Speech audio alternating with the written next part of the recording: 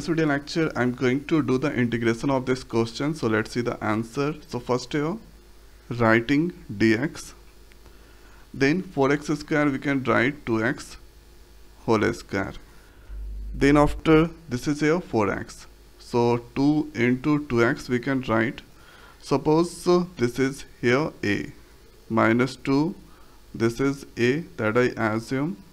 And uh, here if I multiply 1 so 1 is now here b. So b square that means 1 a square so 1 square here you can see 3 is there. So 1 square the value come 1 and here if I add 2 so 2 plus 1 that's come 3 so therefore we can write here dx.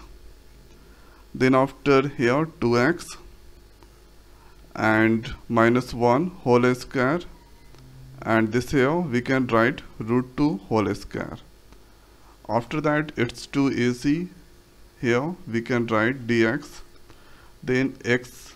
Or thereafter we need to assume something uh, or if you don't assume okay we need to assume okay.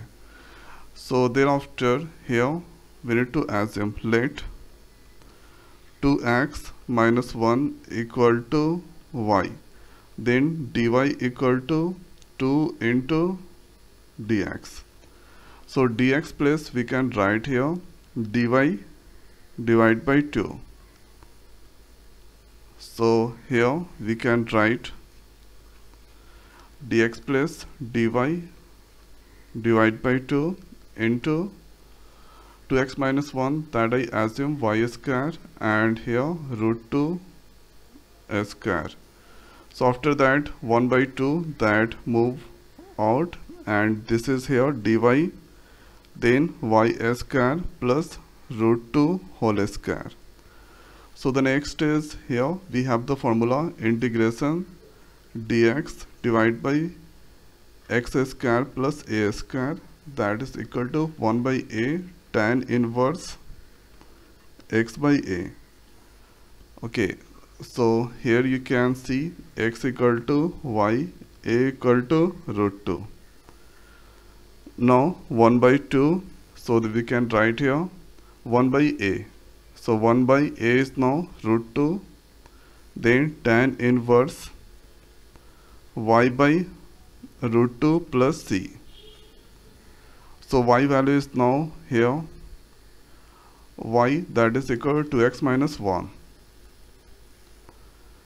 so this we can write 2 root 2 and y value is now tan inverse 2x minus 1 then after here root 2 that come.